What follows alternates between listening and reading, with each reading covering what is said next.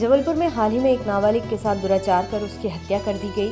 District bar association की महिला ने आत्मरक्षा एवं सम्मान की रक्षा हेतु एसपी कार्यालय पहुंचकर एसपी अमित सिंह को ज्ञापन देते हुए उनके साथ बैठक की, जहाँ महिलाएँ अधिवक्ताओं ने एसपी अमित सिंह से बात करते हुए बताया कि देश में लगातार महिलाओं के साथ रेप हो रहे हैं।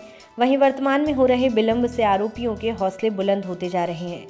जहाँ हाल ही में हैदराबाद में महिला डॉक्टर के साथ घटित हुई घटना है, जिसमें महिला डॉक्टर के साथ सामूहिक दुष्कर्म कर उसके ज़िंदा जला दिया गया। उक्त घटना ने फिर एक बार महिलाओं की सुरक्षा पर प्रश्न चिन्ह खड़े कर दिए हैं। जबलपुर से देवजीत देव की रिपोर्ट। उनका भी जो डिमांड है, वो उसी के लिए हम वर्दी पहनते हैं।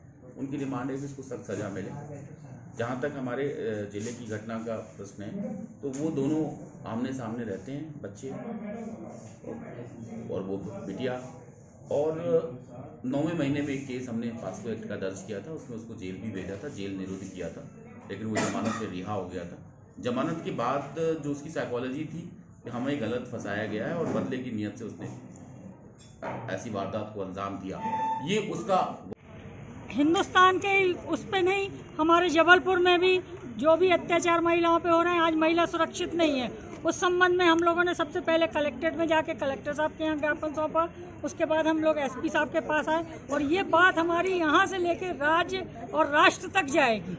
उसके लिए हम लोगों ने ज्ञापन सौंपा है और इस तरह के कृत्यों में जो भी वकील, पैरवी करता पाया गया तो हम लोगों से खतरनाक उसके लिए कोई साबित नहीं होगा। ताज़ा खबरों के लिए log in subscribe like share करें। डब्ल्यू